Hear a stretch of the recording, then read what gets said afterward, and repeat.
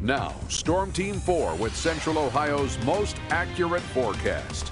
Well, Liz McGiffin joins us now. We talked about this uh, at noon. This is the first now major hurricane that we have seen uh, upon us, and it could get stronger as it moves out. Yeah, that's kind of the scary part is we're not done with it yet. We are done with the worst for some of those areas like the Turks and Caicos, but like you were seeing from that video, they've been dealing with some strong damaging wind gusts, and this system, it has only intensified as it's been moving its way over water. And we can tell just from looking at the satellite, you notice this spin, there's a very clear eye. So that gives us the heads up that there's a lot of strong circulating around this system. In fact, like we were talking about, it's still a major category three hurricane.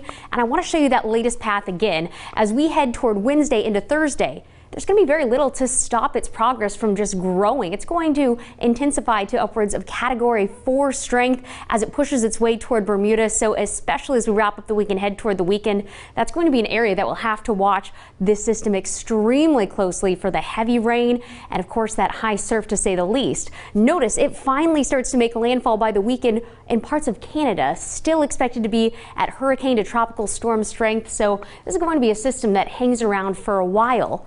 Meantime, though, here in central Ohio, we've been watching a different system.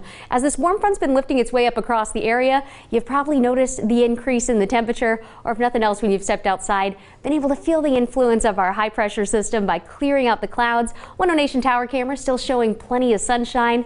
And if you have outdoor plans this evening, I'd say keep them in full swing. It will still be a touch on the warm side as we work our way back down toward the 80 degree mark by 6 o'clock. By 8 p.m., mostly clear sky. It's dropping us right back down to the mid 70s, which, believe it or not, is a lot closer to normal high temperatures for this time of the year. Now, because of the warm front, we are going to be kicking in more of a southerly breeze tonight into tomorrow.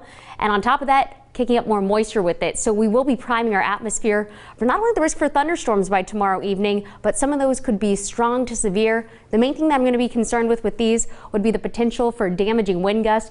But of course, since we'll have such a warm and unstable environment, we'll be keeping an eye out for the potential for rotation that could lead to a tornado, even the threat for some hail and heavy pockets of rain going to be associated with these. So I want to time these out for you. We have high pressure that's going to be continuing to move its way out of here and making its room for the next system by first thing tomorrow morning. Now ahead of this cold front, we're going to kick in more of the southerly breeze, giving us that warm and moist air. Notice how things change by 6 o'clock in the evening. It will be the tail end of that evening drive and even for the first part of the overnight hours, so 6 to 10 o'clock that we'll be seeing a very active picture out on the radar. And like we were talking about, some of those thunderstorms could become strong to severe with damaging wind gusts at times. It's probably even more reason to get prepared tonight or just enjoy these nice, calm conditions. We'll be working our way back down to the mid 60s later on tonight.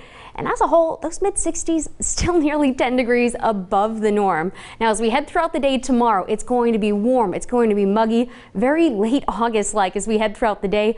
I think the thing that'll keep us from actually hitting the 90 degree mark, though, will be that threat for thunderstorms that moves in later on into the evening.